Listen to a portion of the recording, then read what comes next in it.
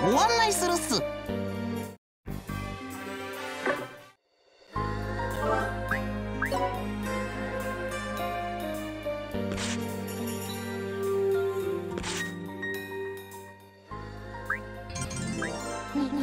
行くぞ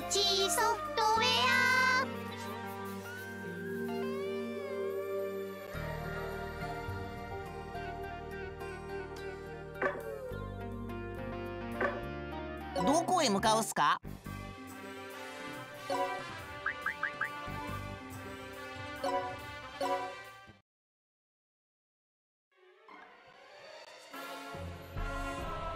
貴様我らロストに逆らってただで済むと思っているのか？ロストには服従かしか。覚悟はできているのだろうな。かーかっかっかっか笑わせんな。こっちはそのロストに喧嘩売ってんだよ。いいから早くかかってこいよ。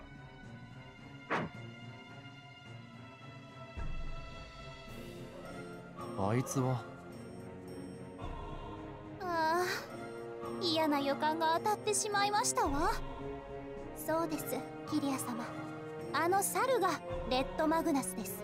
相変わらずの筋肉バカのようできっと脳みそがストーンゴーレムでできているに違いありませんわ。もう一度だけ命乞いのチャンスをやる。服従か。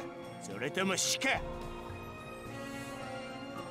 さあそっちが来ねえならこっちから超絶行くぜ。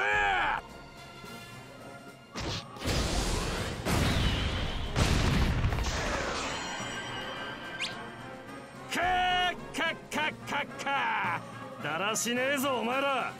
ロストが聞いて呆れるぜ。お前らじゃ相手にならねえ。さっさとボイドダークの野郎を呼んできやがれ。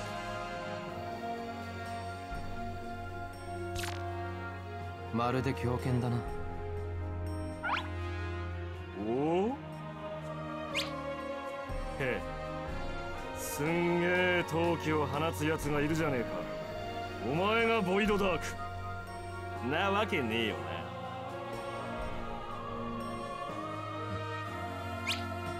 ってことはいよいよロストの魔将軍のお出ましってわけか。この猿私の存在に気づいていませんの？灼熱魔界の魔王レッドマグナスか。なかなか手強そうなやつだな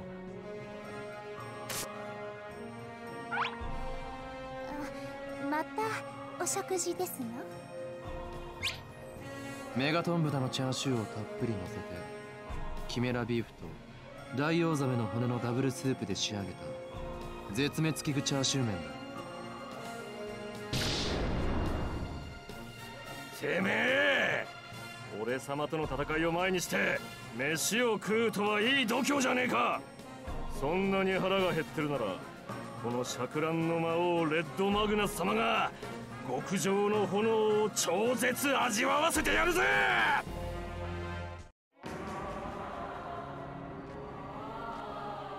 その陶器やっぱただものじゃねえな。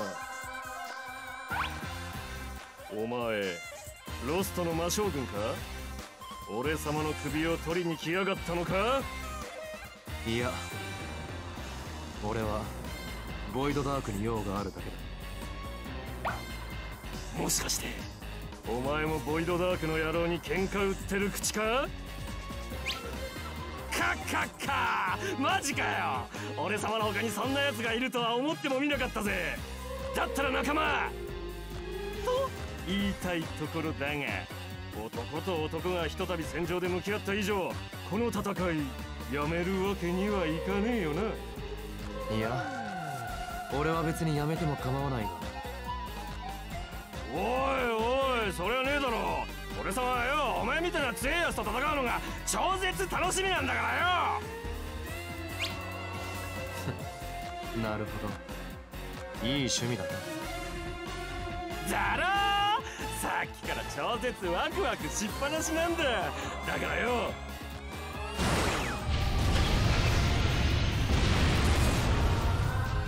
何？これぞ俺様の魔王儀超合金のオリンピア！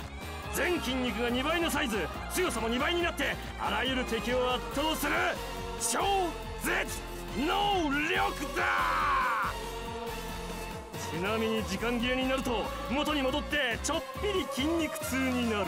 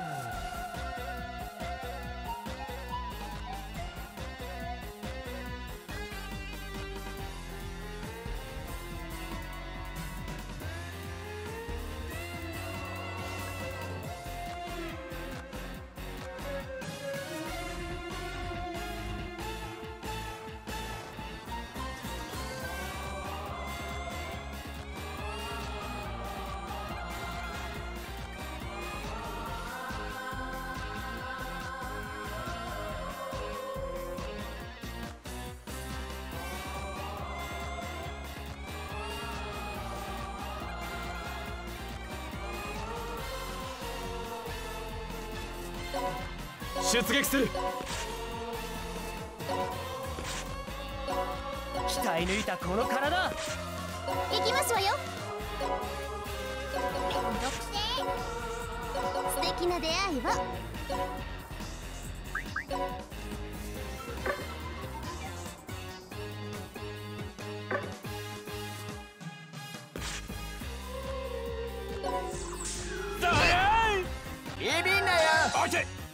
先生お願いします先生パラデラパラデラ武器ほらもうお仕置きしちゃうぞ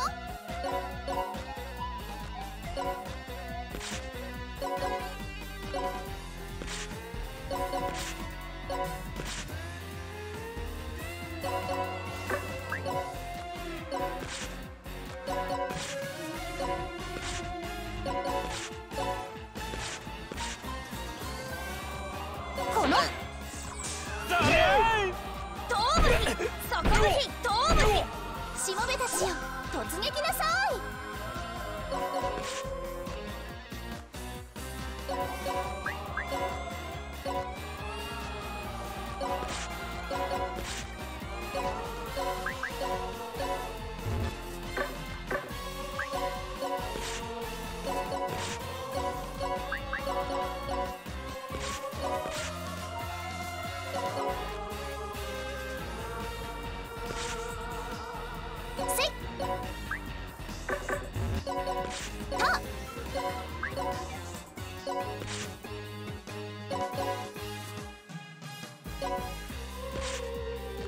鍛えた甲斐があった。また見るときなさいまして。俺に任せる強くならな。いブヒ何するブヒ俺の筋肉を見せてやる。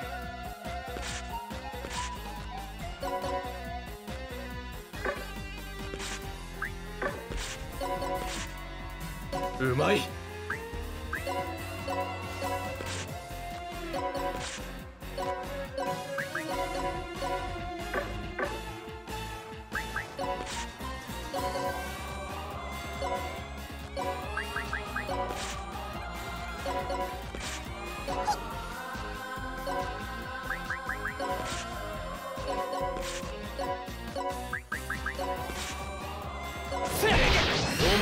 けなぎる。ここからが勝負だ。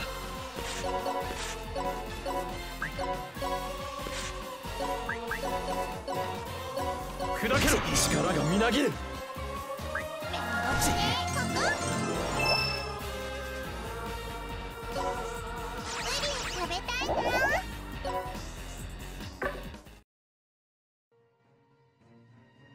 カッカッカー。やるじゃねえか。そうこなくっちゃな。だが俺様の本気はまだまだこんなもんじゃねえ。お楽しみは超絶これからだぜ。おやめなさい。脳みそ筋肉の猿がいくら挑んだところで私のキリア様には勝てませんことよ。なんだとこの甘ってあれ？お前は確か。今頃気づきましたの？そう。私は戦場に咲くラフレシア。絢爛魔界の魔王セそうだ！絢爛魔界のジャジャ馬姫だ！ラジャジャ馬姫ではありませんわ。今はもう絢爛魔界の魔王ですのよ。魔王セラフィーヌ様とお呼びなさい。そうそうセラなんたら超絶思い出したぜ。でなんでお前がこんなところにいるんだ？それは私のセリフでしてよ。灼熱魔界の魔王であるあなたが何故この地でしかもたった一人で戦いを？それはお前日頃のストレス発散にロストの連中と遊んでやってたに決まってるだろ。な、なんだよその面は。何か言いたそうだな。お前の戦いぶり内なる怒りをぶつけているようだった内なる怒りだ。超絶意味不明なこと言ってんじゃねえよ。そうか。俺の勘違いか。すまなかったな。なんだよ。悪魔のくせに謝るなんて。妙なやつだな。まあまあ分かればいいんだ。じゃあそういうことだから。これからよろしく頼むぜ。はあ？何がよろしくなのよあんたお前らもボイドダークに喧嘩売ってるんだろ？俺様も同じだ。だったら一緒に超絶盛り上げようぜ！私戦力になる男は大歓迎ですけどデリカシーゼロの猿だけは遠慮しますわ。分かったら山へお帰り。しし。えー、別にいいじゃねえか。やるもんじゃねえんだしよ。一緒にやろうぜ。勝手にしろちょっとキリア様私は反対だと申し上げておりますのよ。よし決まりだな。じゃドドーンとド派手に行こうぜ。俺様はレッドマグナス。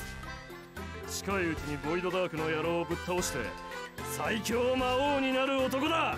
超絶よろしく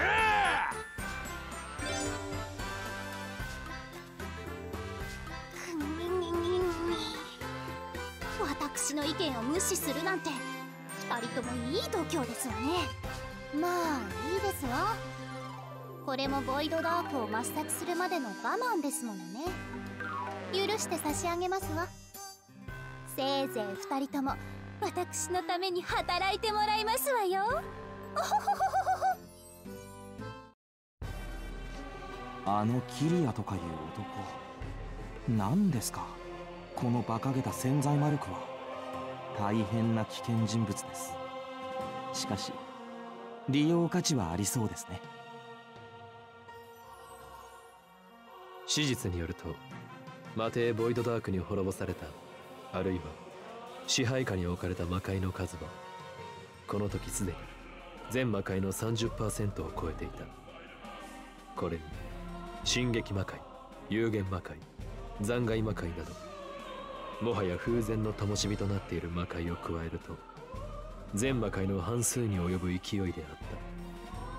一方で豪烈魔界巨鏡獣魔界我流魔界といった大魔界の牙城は崩されておらず魔帝による恐怖支配に反感を持つ悪魔たちは大魔界の魔王による反撃に希望の光を見出していた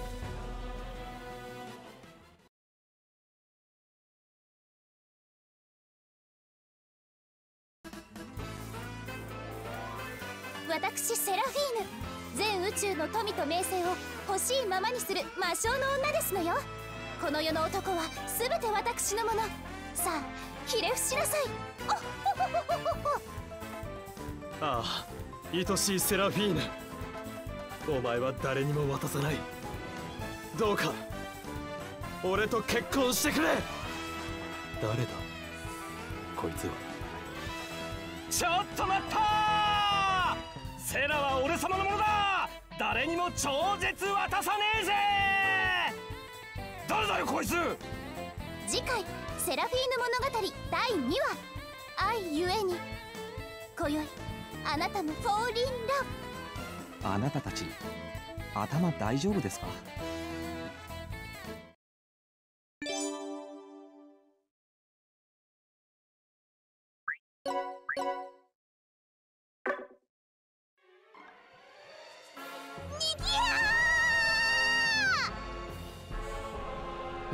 騒がしいな。何事だ？ブ落ち着いている場合ではありませんわキリア様。緊急事態ですのよ。ロストが攻めてきたのか？いいえ。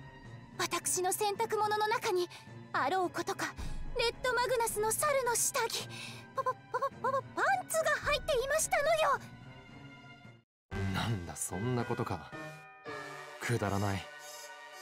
くだらなくありませんわ私の純潔が怪我されてしまいましたのよ。あのけだものに。おーいセーラ誰がセラよ。気安く呼ばないでいただけませんこと？だってお前の名前長えし。セラでいいだろセラで。ところでよ俺様のパンツどこに干した？夜水へ送って差し上げましたわよ。あ？今のどういう意味？お前のパンツは捨てられたそういう意味だな。なんだと？あの虎柄はお気に入りの一丁羅なんだぞ！まっ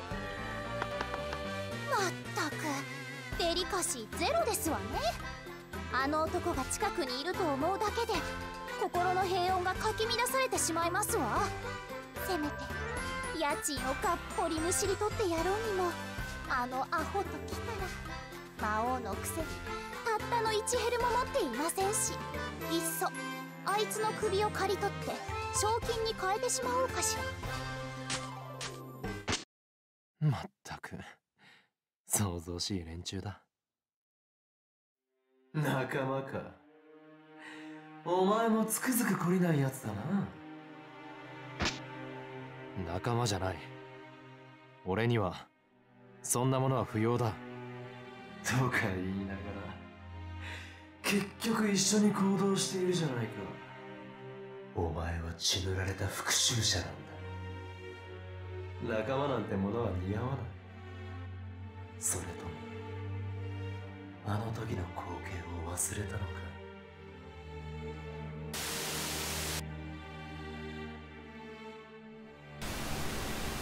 忘れるものか復讐だけが俺を支えているんだ。そうだ。お前にはもう守るべきものはないんだ。怒りに身を委ねろ。俺を解放するんだ。そして全てを破壊してしま